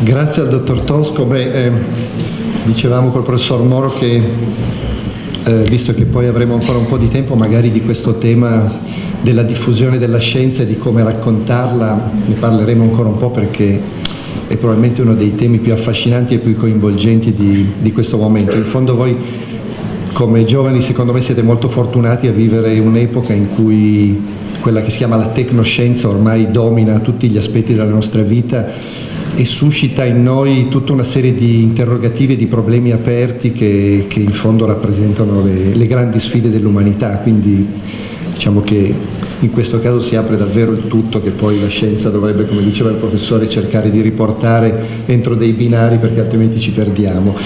Ehm, questa mattina vi è stato spiegato che c'erano due sorti di, di, parti, la prima quella propriamente scientifica del professor eh, Moro e poi la seconda quella con eh, Mario Capello che è editore e scrittore che vi introdurrà appunto alla seconda, cioè um, ai laboratori eh, a cui chi vorrà potrà partecipare in cui farete eh, un po' come è stato detto prima delle due vie, dopo quella via scientifica trovate, eh, potre, potrete incamminarvi sulla, sulla, via del racconto, sulla via narrativa, sulla via del linguaggio che, che si applica a, in questo caso al mondo scientifico. Ed è un, un passaggio molto difficile, credo che eh, se eh, fosse dato questo compito di fare un racconto a tanti adulti, molti adulti non sarebbero in grado di, di, di fare un'impresa del genere, quindi sicuramente voi avete di fronte una grande sfida che è bellissima e sicuramente complessa, ma secondo me che è adatta alle menti dei giovani che sono molto più brillanti e aperte di quelle invece dei vecchi. Lascio quindi la parola a Mario Capello che eh, vi racconterà questa, questa seconda parte dei laboratori. Allora, buongiorno a tutti, grazie per essere venuti qua e grazie per eh, questa opportunità. E allora, io parlerò brevemente, farò una brevissima lezione che a questo punto sarà un po' sunteggiata, ma che spero possa risultare chiara. Ehm, una brevissima lezione sul rapporto tra il romanzo e il pensiero, perché eh, alla fine eh, questo è stato l'argomento che è stato affrontato dal punto di vista scientifico eh, che è un rapporto tutt'altro che scontato e poi affronterò brevemente il tema dei laboratori, come si svolgeranno i laboratori e i nostri incontri delle prossime settimane, come si svolgeranno anche nel resto del paese nel corso di questo programma. Allora, il romanzo. Quando nasce il romanzo e che cos'è il romanzo? Allora, nelle varie genealogie possibili eh, del, della forma romanzo, forse quella che va per la maggiore ed è ormai considerata canonica, vede la nascita del romanzo eh, alla fine del Settecento in Inghilterra. Il romanzo nasce eh, quando, eh, poi ad un certo punto c'è anche una scissione, però c'è una scissione tra i due aspetti, due, le due forme di narrazione che andavano per la maggiore. Da una parte nasce eh, viene codificato quello che verrà chiamato romance per gli inglesi, perché gli inglesi, anche perché hanno una storia più articolata della nostra sul romanzo, usano due termini per eh, parlare dei romanzi, per chiamare i romanzi. Da una parte il romance e dall'altra il novel. In questo periodo queste due forme, che fino a quel momento sono state mescidate e mischiate, si separano. Da una parte ci sarà il romance, che è il romanzo d'avventura quello dove accadono un sacco di cose, il romanzo di trama e fondamentalmente eh, di peripezie che accadono ai personaggi. Dall'altra parte, nel novel, invece, succede una cosa stranissima, eh, veramente molto curiosa nel, eh, nella storia letteraria, eh, perché improvvisamente diventano dei romanzi che si occupano della vita quotidiana e delle persone quotidiane. La la prima definizione di romanzo viene data, mi pare, da uh, Fielding, che è uno dei tre inventori del romanzo moderno, eh, almeno quelli canonici, che sono Fielding, Stern e Smollett. Ehm, e Fielding dice il romanzo è un poema eroicomico in prosa. Mm? Avete presente cosa sono i poemi eroicomici? No? Ve li ricordate? La secchia rapita, Tassoni e tutte quelle cose, cose che c'erano anche in Italia. Ad un certo punto questi autori in Inghilterra cominciano a scriverli in prosa e questi due elementi del eroicomico e in particolare del comico e della prosa sono gli elementi fondamentali per la nascita, per la nascita del romanzo. Perché? Per due motivi eh, diversi. Eh, prima di tutto perché effettivamente questi primi romanzi fanno ridere, sono comici nella stessa accezione in cui usiamo noi questo termine. In particolare i romanzi di Stern eh, sono divertentissimi e lo sono tuttora, eh, sono dei romanzi bizzarri, eh, estremamente sperimentali ma anche molto facili da leggere. Il suo romanzo più famoso racconta eh, beh, della giornata di un personaggio bizzarro che ha ricevuto una strana ferita in una parte del corpo che non posso nominare in questo momento perché siete dei ragazzi e che ha uno zio ancora più strano che ha l'hobby di ricostruire una battaglia in cui a sua volta è rimasto ferito, eh, sempre da quelle parti, e insomma dove non succede niente se non varie bizzarrie e cose curiose. Fielding, il romanzo di Fielding, il Tom Jones è un po' diverso, però tendenzialmente fanno ridere ma è comico, si usa comico anche in un'altra accezione. Eh, voi ricordate la gerarchia dei generi di eh, Aristotele, no? che in realtà è stata immaginata, è stata codificata in Grecia migliaia di anni fa, ma ha avuto un'influenza lunghissima, ha un'influenza tuttora sul modo in cui noi eh, raccontiamo le storie e si vede in maniera evidente nelle pubblicità. Eh, banalmente questa gerarchia prevedeva che per ogni classe sociale ci fosse un genere letterario. Prevedeva anche altro, prevedeva dei codici per cui determinati generi andavano eh, scritti in una determinata maniera, ma tra le varie prescrizioni prescriveva anche che determinati personaggi provenienti da una determinata classe sociale, un determinato ambito sociale, potessero essere raccontati soltanto attraverso determinate forme. E il collegamento principale era quello tra eh, le persone di nobili natali, meglio ancora semidei, e l'epica, no? classico. L'epica, che era la forma di narrazione principale dell'antichità, si occupava fondamentalmente solo di aristocratici e di persone tendenzialmente importanti. Col passare del tempo ovviamente questo si è declinato in maniera diversa a seconda delle epoche. Quello che invece è rimasto vincolante e che è tuttora vincolante se ci pensate un attimo è che le persone invece di bassa estrazione dovessero essere raccontate attraverso la commedia. Mm? La commedia era anche la, il genere, come racconta anche, spiega anche Dante, che tendenzialmente inizia male, cioè con un gran caos e poi finisce bene. Mm? Però doveva occuparsi di persone di bassa estrazione. Dico un po' lontano, sono i fonici ci, oh, sì, mi fanno senso. Sì. Doveva occuparsi di persone di bassa estrazione. Eh, il che mh, creava ovviamente delle limitazioni anche eccessive alle, alle persone che dovevano scrivere un po' anche alle persone che dovevano leggere. Ad un certo punto in Europa succede questa cosa, i lettori, il pubblico, che poi sono quelli che decidono veramente la fortuna dei vari generi letterari, cominciano a sentire l'esigenza di vedere raccontate le persone come loro, le persone che non erano né semidei né aristocratici e verso la fine del Settecento e poi soprattutto nel 1800 in Europa si diffonde come una sorta di epidemia questa passione per i romanzi. Questa passione per i romanzi che hanno questa peculiarità, raccontano, come eh, spiega benissimo eh, Franco Moretti nel suo libro, raccontano in maniera seria di persone comuni, di persone banali. E quindi e questa è la cosa per cui si dice comico del poema eroicomico. L'altro è ovviamente la prosa, hm? perché eh, la prosa ovviamente non si usano i versi, ma c'è un un'altra accezione ulteriore, è il fatto che questi romanzi non si occupano più di avventure mirabolanti, non si occupano più eh, di oh, dei, della conquista di Troia oppure del ritorno in patria di Ulisse, ma si occupano della quotidianità, di ciò che è appunto prosaico per noi, della vita di tutti i giorni e di conseguenza nella vita di tutti i giorni, lo sappiamo benissimo, ehm, è difficile che ci succedano delle cose particolarmente divertenti, particolarmente interessanti. La nostra vita è abbastanza banale. Le cose forse davvero interessanti, anziché avvenire nell'esterno, anziché avvenire al di fuori di noi, avvengono nell'interiorità. Quindi quello che succede nei romanzi, in quel periodo, quando il romanzo diventa romanzo, è spostare l'attenzione dagli eventi esterni agli eventi interni.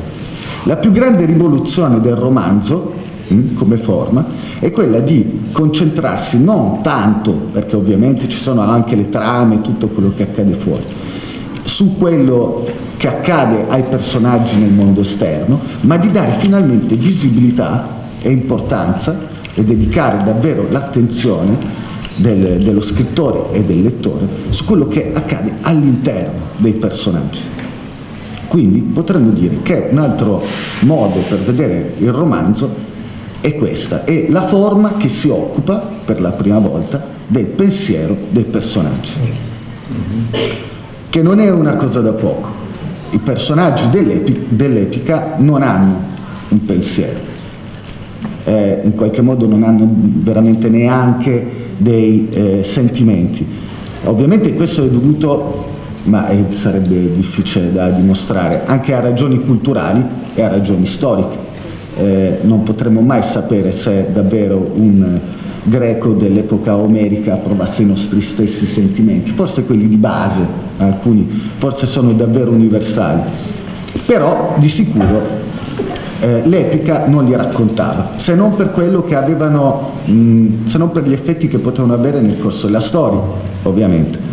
L'ira di Achille è l'esempio eh, peculiare.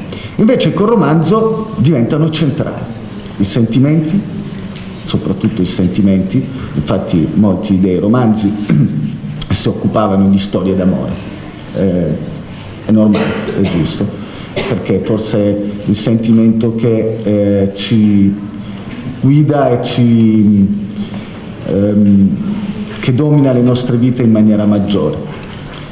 Eh, ma non solo, anche tutti gli altri, i pensieri cominciano a diventare veramente centrali. E via via, nel momento in cui diventano il vero argomento della narrazione, devono venire sviluppati gli strumenti per poterli raccontare per poterli mettere sulla pagina e poterli far arrivare al lettore.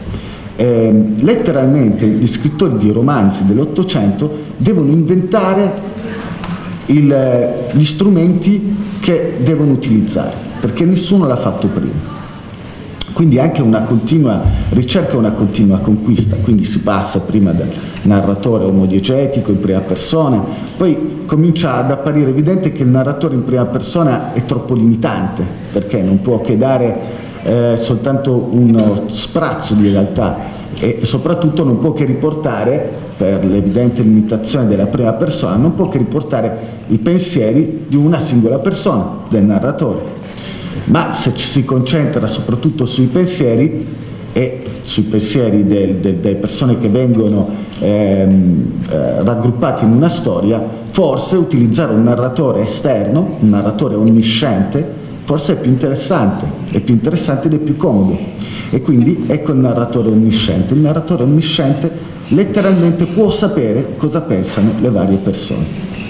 Però col passare del tempo Limitarsi semplicemente a dire che cosa pensavano questi personaggi comincia a risultare eh, poco appagante. Allora il romanzo diventa uno strumento sempre più raffinato per poter eh, compiere questo passaggio. Non interessa più eh, rappresentare cosa pensano i nostri personaggi, che cosa provano. Si cerca sempre di più di andare a un livello ulteriormente avanzato, ancora più profondo, ma letteralmente riuscire a trascrivere il pensiero. Mm? Non più un narratore che ci dice che eh, Anna, di Anna Karenina è triste, ma letteralmente oppure sta soffrendo per amore per Vronsky, oppure si sta annoiando nella prima parte della sua vita, ma letteralmente vedere che cosa pensa. E questo avviene a stadio tutti i lavori di ricerca i vari scrittori ci provano e c'è un continuo passaggio del testimone finché qualcuno non si ritrova con lo strumento adatto a fare questa roba. Eh, io ho portato due esempi, ma leggerò dei pezzi brevissimi. Uno è da Anna Karenina, quando Anna Karenina, questo è uno dei passaggi fondamentali della letteratura, okay? questo è uno dei romanzi fondamentali e voi sapete come finisce Anna Karenina o devo temere di fare dello spoiler che è l'unico peccato. Anna Karenina ci avete presente, lei si ammazza, muore, ve lo dico. Si ammazza anche in una maniera piuttosto drammatica. Ehm, No, no, è vero, muore ma si sapeva, anche perché non è la vera protagonista di questo bellissimo romanzo, quindi adesso lo devo ritrovare. E quando, prima di, prima di uccidersi, prima di andare a compiere questo ultimo tragico viaggio, fa un eh, viaggio in carrozza e in questo viaggio in carrozza le succedono delle cose, comincia a pensare a quello che le è accaduto, a fare un bilancio della sua vita. Eh, e questo è importante per il romanzo, ma soprattutto succede un'altra cosa che è ancora più importante per il romanzo in generale, perché Tolstoi si inventa lo strumento che poi diventerà fondamentale per provare a trascrivere, a riportare il eh, pensiero ed è poi quello che verrà utilizzato ah, tantissimo nel Novecento. questo è il passaggio. Sedendo in un angolo della comoda carrozza, scossa appena sulle sue molle elastiche al trotto serrato dei cavalli grigi, Anna, nel continuo rumorio delle ruote all'aria aperta, fra le impressioni della strada che si succedevano rapidamente, cominciò a esaminare di nuovo gli avvenimenti di quegli ultimi giorni e li vide sotto altra luce. La morte ormai non le pareva più inevitabile. Ora si rimproverava d'essersi lasciata andare così giù, d'essersi umiliata tanto. L'ho scongiurato di perdonarmi, mi sono confessata colpevole. Perché? Forse non posso vivere senza di lui? Ma senza rispondere a questa domanda si mise a leggere le insegne.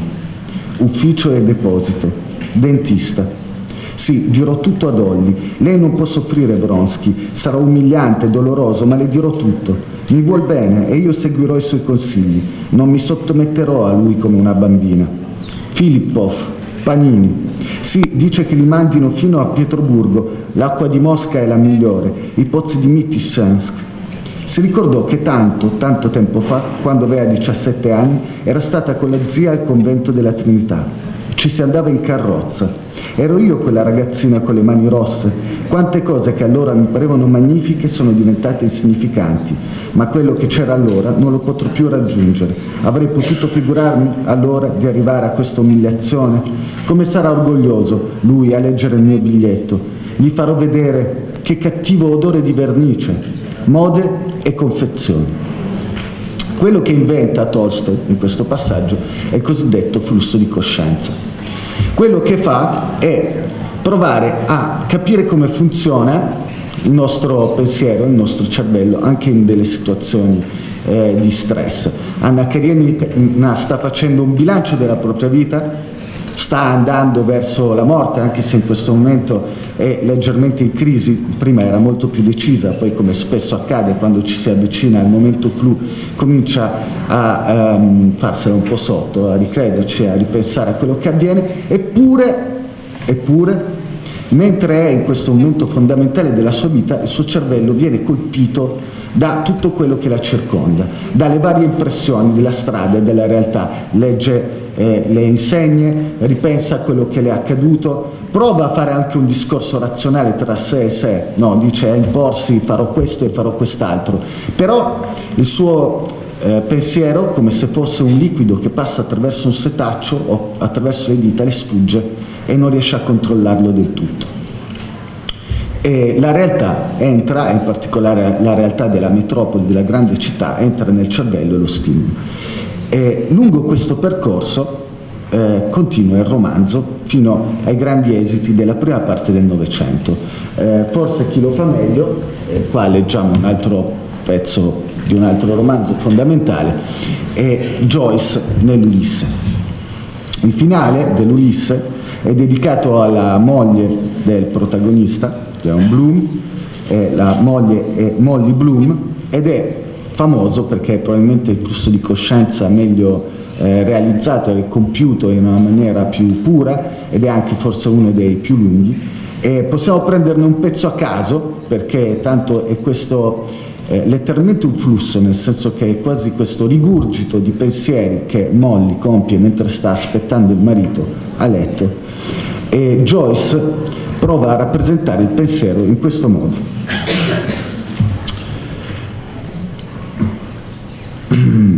O come diavolo si chiama per schifarvi ancora di più con quelle sporche figure di bambini con due teste, senza gambe, ecco le turpitudini cui pensano tutto il giorno senza nient'altro, in quelle loro teste vuote dovrebbero dargli un veleno lento a buona metà di loro e poi te, crostini imburrati da tutte e due le parti per lui e uova di giornata, credo, e io non sono più nessuno quando non mi lasciai leccare in Hall Street una notte un uomo, uomo tiranno come sempre, per prima cosa dormì sul pavimento metà della notte nudo come fanno gli ebrei quando muore qualcuno dei loro.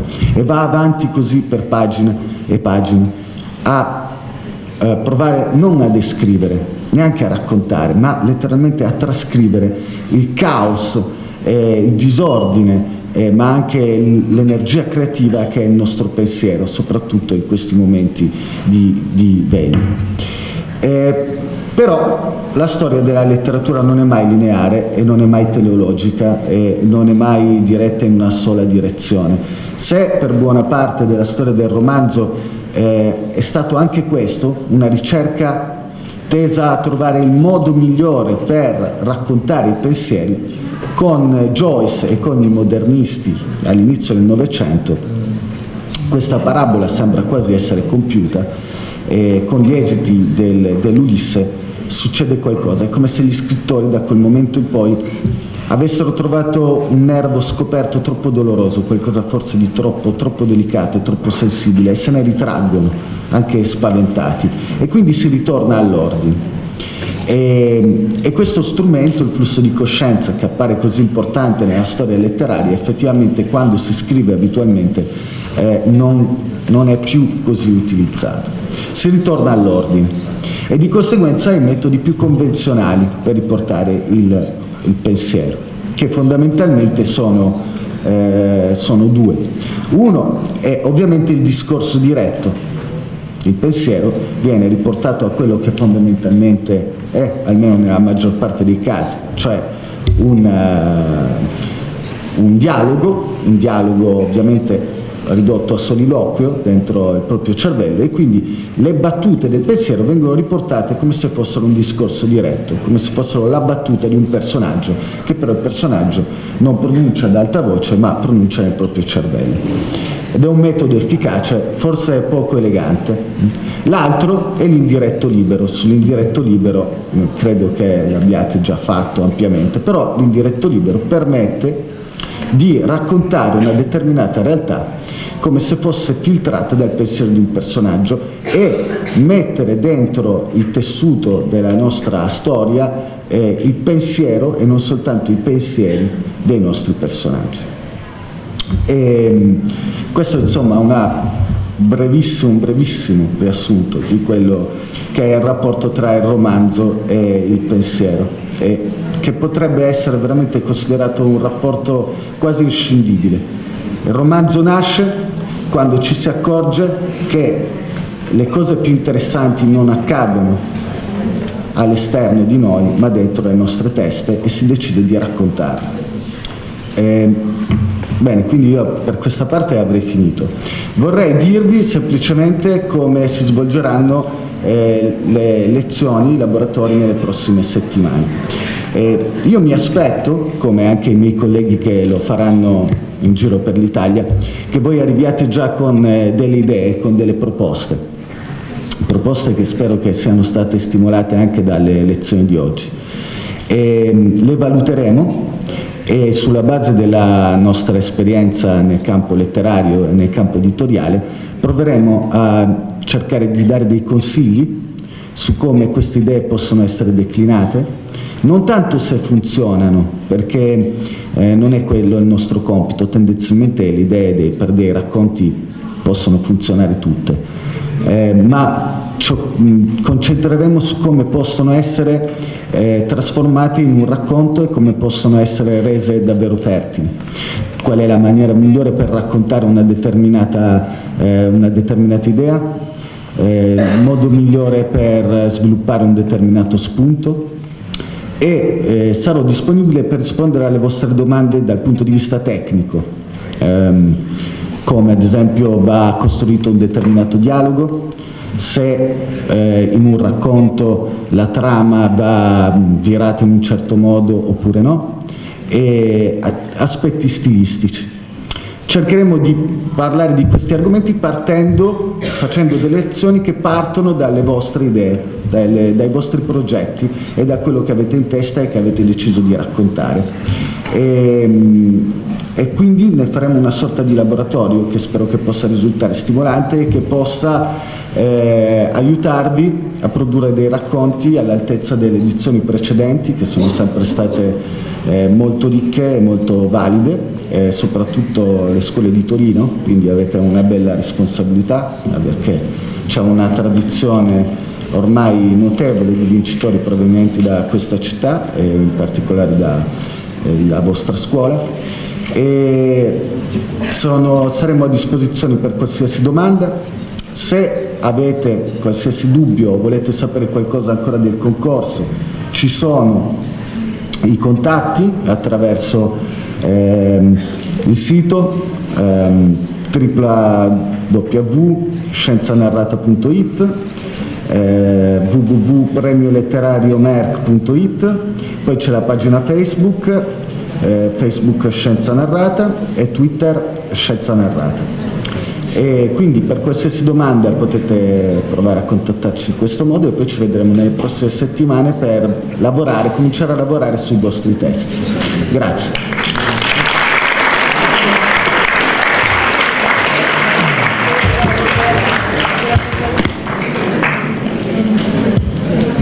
Grazie Mario. A questo punto abbiamo ancora un, direi un 10 minuti, un quarto d'ora per, per concludere. Eh? Professore? Sì, sì, sì. Volevo solo dire due cose che si agganciano ai, due, ai vostri interventi. La prima riguarda l'importanza della comunicazione della scienza, cosa che lei ha messo bene in luce. Tra l'altro io, eh, questi esperimenti che io ho fatto li ho iniziati a fare a San Raffaele, dove la centralità del trattamento della sclerosi multipla aveva coinvolto una discussione globale sulla questione della salute che aveva stimolato molti nostri discorsi. Però volevo dire una cosa che ho detto una volta in pubblico alla prolusione dell'anno accademico come rettore vicario della mia università, prendendola un po' alla larga. Voi la mattina quando vi svegliate avete un imperativo, tranne quelli fisiologici, voglio essere felice. È quello che noi vogliamo fare tutta la vita, noi vogliamo essere felici. Facciamo tante cose per essere felici, vero o no? Due possiamo farne di sicuro, tra le tante. Imparare a capire se ci sono delle medicine che ci tolgono dei problemi e scommettere. Come scommettere? Sì, vincere la lotteria. Uno può dire alla mia età, 54, 53 anni, dice ci sarà la medicina che mi risolve il mal di testa, ci sarà la medicina che farà in modo che non mi venga il fiatone a corso per le scale, ci mangia meno, no, lascia perdere. E l'altra è quella, corro e scommetto a una lotteria. Per farvi, dare, per farvi capire qual è la sproporzione dei due atteggiamenti nel nostro paese, vi do due cifre. Vi ricordate quando avevo detto lo Human Brain Project? 23 paesi europei in 10 anni, iniziativa guidata da Richard Frakowiak del eh, Politecnico di Losanna, 1 miliardo e 350 milioni di euro per un singolo progetto. Nel 2008 il nostro paese in scommesse lecite ha speso 47 miliardi di euro. E se teniamo conto dei dati aggiornati, ne discutevamo ieri sera con il PGO di Freddi, sembrano salire a più di 80 miliardi di euro solo in Italia. Questo lo si sa perché essendo queste scommesse legalizzate, lo Stato incassa più di 9 miliardi di contributi che servono per pagare le scuole, gli autobus, le fognature, eccetera, eccetera. Questo vi fa capire quanto poco siamo riusciti noi professori e, la, e chi se ne occupa a far capire alla società che quando ti alza la mattina piuttosto che andare a investire su tre fragoline che ti vengono fuori uguali o che vinca un cavallo o che faccia gol non so chi conviene forse investire nella ricerca almeno secondo me la gente deve essere messa di fronte a questa scelta preferisci spendere, preferisci che il tuo paese spenda 80 miliardi di euro in scommesse o che in qualche modo la ricerca scientifica venga avvantaggiata. I progetti universitari di ricerca quest'anno, facendo fare i salti mortali al nostro Ministero, sono passati da 30 a 90 milioni di euro. Pensate, 80 miliardi, 90 milioni. Allora se ci sono che concorrono alla consapevolezza di quanto vale la ricerca per incidere sulla società, è evidente che l'industria, in qualche modo, che è il motore pulsante delle idee, non dimentichiamoci quello, ha un ruolo centrale. La seconda cosa che invece vorrei dire eh, riguarda eh, il, quello che hai detto tu adesso riguarda la narrazione e, ed è proprio in qualche senso il proprio di questo evento che vi siete inventati, del narrare scienza e si rifà a un contatto personalissimo che vi confesso io ho avuto l'occasione di incontrare e stare un giorno insieme a Oliver Sacks che era stato una, un medico discusso se volete eh, che è morto credo quest'anno mi sembra che sia mancato quest'anno sì. e in questa giornata abbiamo parlato di come lui tratta i pazienti psichiatrici e poi a un certo punto gli ho detto, sì, ma perché scrivi dei racconti? E lui mi guarda e fa la stessa cosa. No, scusa, fammi capire.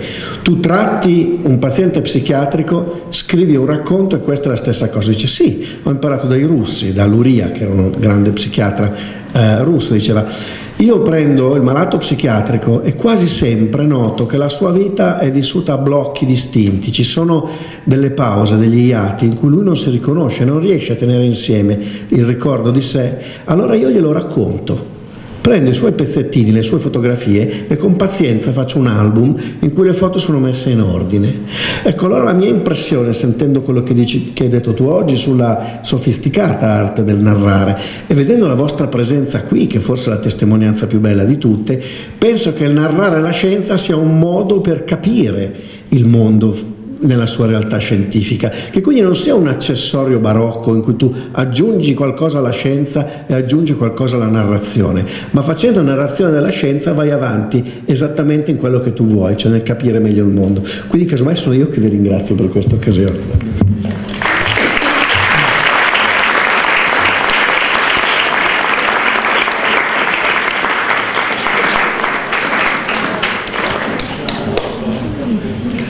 Questo punto c'è qualche domanda, anche chiarimenti, magari avete qualche dubbio, qualcuno...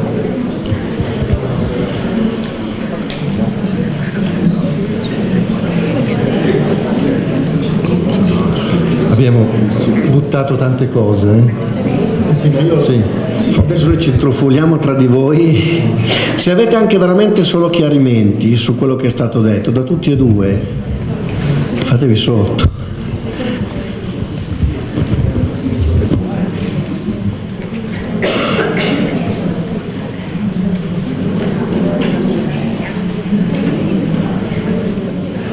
Prego.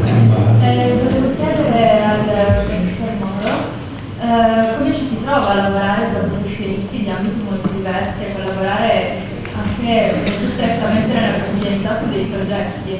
Comunque la, prospettiva a volte in questi problemi parte anche da punti molto diversi, quindi ci si scontra, si riesce a proseguire per forza trovare una linea veramente identica o è concesso ai professionisti di rimanere un po' nel proprio. Grazie, è una domanda bellissima, non bella. Intanto mi colpisce subito il verbo che lei ha utilizzato, come ci si trova. Trovarsi vuol dire condividere, trovare una persona con cui tu devi, ehm, devi avere uno spazio in comune. Ci sono due cose che io dico sempre eh, per quanto riguarda l'università. Primo che le idee che le ho avute sono venute al bar, nel senso che io figuratevi se mi presento da un neurologo bussando, di solito occupati in questioni delicate, a dire secondo te è possibile che la sintassi sia scindibile dalla fonologia? Vengo lanciato, però al bar c'è una eh, licenza poetica creativa notevole. Quindi la costruzione di uno spazio comune. La seconda cosa, se avete mai pensato a quanto la forma delle città influisce sulla forma delle università, è vero che noi viviamo in un momento straordinariamente innovativo credo che il paragone della, della, che ha avuto internet sulla cultura sia solo paragonabile a quello della stampa, ma prima di internet le grandi università non erano in grandi città. Cambridge stava a Londra come ehm, Cambridge, England, Cambridge, Massachusetts, che dove ho studiato io stava a, a, a New York, un sacco di posti sono fatti così, perché le città se sono piccole, favoriscono ancora una volta l'incontro. Dunque la prima cosa che le dico è, ha visto bene, il problema decisivo è l'incontro. Il secondo problema è che tu quando ti incontri devi intenderti, se tu parli due lingue diverse ne devi creare una comune. Quello che lei dice è un punto delicato che non, può, che non ha una risposta a priori. Io penso questa cosa qui che noi portiamo dentro di noi un'interpretazione estremamente soggettiva e caparbia di quello che vogliamo ottenere da noi e dagli altri, ma se non ci mettiamo a disposizione di ascolto va a finire che non riusciamo a scambiare e a progredire. Voglio dire, i lavori sul linguaggio cervello non avrebbero avuto, e adesso se voi aprite una qualsiasi eh, un rivista di alto livello di neuroscienze sul linguaggio cervello, ormai ne trovate tante, quando abbiamo iniziato noi veramente era il primo su sintassi e cervello, lo trovate proprio perché c'è stata la possibilità di condividere un linguaggio. Sembra banale, ma avere un glossario comune diventa fondamentale. Ecco perché a mio parere lo sforzo che la scuola fa comunque sulla riflessione linguistica è fondamentale perché vi allena alla manipolazione del più sofisticato degli strumenti. Io penso che, anche, che, che sia evidente che anche nel mondo del lavoro in realtà saper parlare è fondamentale. Comunicare una strategia non lo fai solo con i numeri, lo fai ponendo l'attenzione sui numeri e l'attenzione sui numeri non la poni con i numeri ma con le parole. Quindi in un certo senso trovarsi. Ecco, la domanda che magari qualcuno di voi, non so se la avreste voglia di farmela oggi, ma che mi sento fare spesso è cosa devo fare io per poter studiare queste cose qui poi all'università? Ecco, in questo momento per esempio questo è un buco, non c'è, se uno vuole fare il neurolinguista cosa fa? Io consiglio di fare medicina, eh, però la vostra, la, la, una cosa importante è che ci sia una pressione da parte vostra sulla richiesta di formazione che deve in qualche modo aderire con l'offerta. Banalmente dovete trovare lavoro. E non è che possiamo fare tutti i pifferai, a meno che ci sia un mondo che ha solo bisogno di pifferai. Però siccome fondamentalmente invece il mondo ha bisogno di altre cose, la questione della formazione, quindi della condivisione di linguaggio di un posto diventa centrale. Però è importante che ci sia la pressione da parte vostra, che siete in questo caso quelli che dovete volere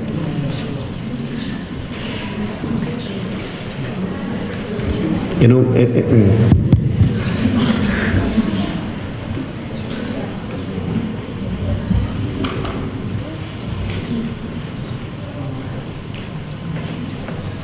Mi veniva in mente come giornalista che eh, in fondo noi notiamo che Abbiamo bisogno di una grande educazione al linguaggio e alla comunicazione perché nell'era di internet sembra che abbiamo un po' perso questa capacità di argomentare le nostre ragioni.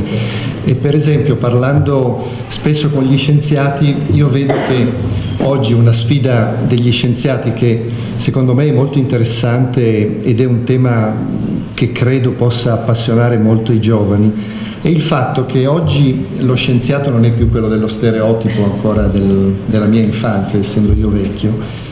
Ehm, gli scienziati oggi sono grandi team e quindi come succederà si spera a Milano con lo Human Technopol che partirà fra poco, ehm, la sfida è mettere insieme appunto un professore come il professor Moro, eh, un, un neuroscienziato, uno psichiatra, un matematico, un informatico, un esperto di computer, uno di big data e eh, si capisce che soltanto facendo parlare queste persone, che in realtà non sono mai state abituate a parlare l'una con l'altra, si potrà far progredire la conoscenza scientifica, perché il futuro della scienza è quello dei grandi esperimenti e dei grandi team interdisciplinari.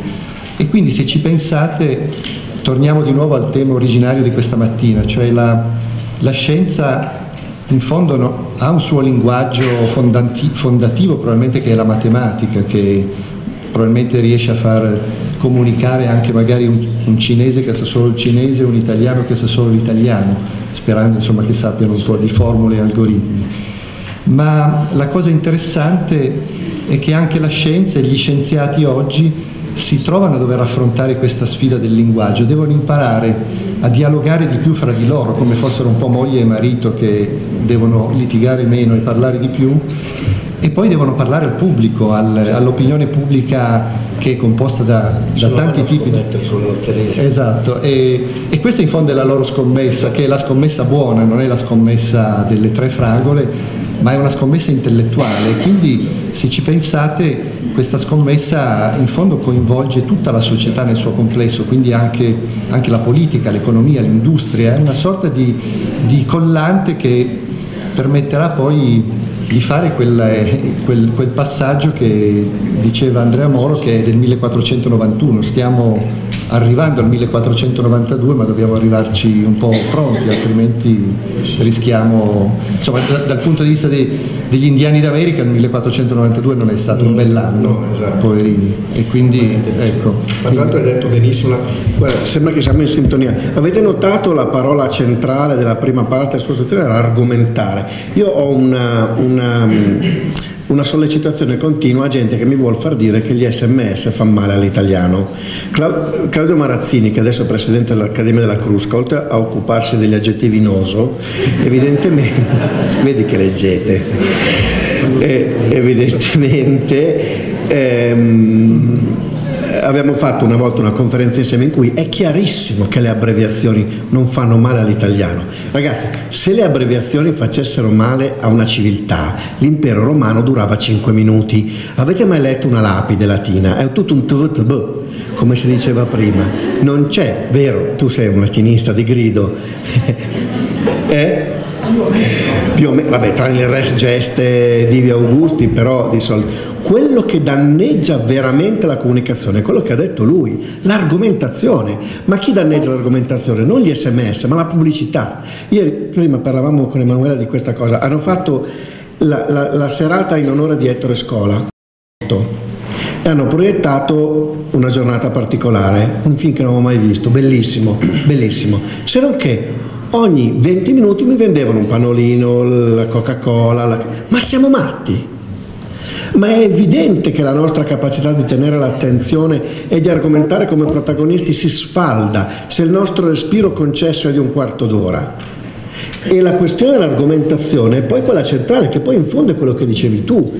Sì, mi, mi riallaccio. Prima ho detto che la pubblicità è uno dei pochi posti in cui ancora ehm, si può vedere l'influenza della gerarchia dei generi di, di, Aristotele e mi sembra fondamentale perché la pubblicità in ta- in, nei tanti modi in cui ci danneggia è anche il veicolare questi stereotipi. Un esempio classico è che per i dettami della commedia le persone oltre che essere di bassa estrazione devono essere brutti tendenzialmente se voi guardate le pubblicità e in particolare le pubblicità dei prodotti ehm, domestici, quando ci sono, eh, c'è una donna di servizio, quindi bassa estrazione, e poi il protagonista della pubblicità, per esempio Jerry Scotti, Jerry Scotti, che è comunque un uomo piacente, eccetera, elegante, si rivolge alla sua donna di servizio, eh. comunque elegante, si rivolge alla sua donna di servizio che tendenzialmente è bruttina, le donne di servizio non sono mai belle nella pubblicità e le spiega con tono molto paternalistico come lei deve fare le pulizie, tirando fuori un prodotto che lei ha visto mille volte ma non conosceva, Jerry Scotti sì. Quindi queste pubblicità, eh, ovviamente lui è elegante, lei è bruttina e tendenzialmente fa una figura del cavolo, ok? Perché quello è il ruolo che è stato destinato da Aristotele alle persone di bassa estrazione nei racconti. E se voi leggeste qualsiasi romanzo e avesse questi schemi così banali, verrebbe sbertucciato e distrutto dalla critica. Probabilmente verrebbe pubblicato lo stesso, visto il livello, però verrebbe almeno sbertucciato. Invece la pubblicità questa roba qua, questi stereotipi così scontati e soprattutto così ehm, dolorosamente falsi ma anche corrompenti, cioè ce li fa bere in continuazione, per esempio.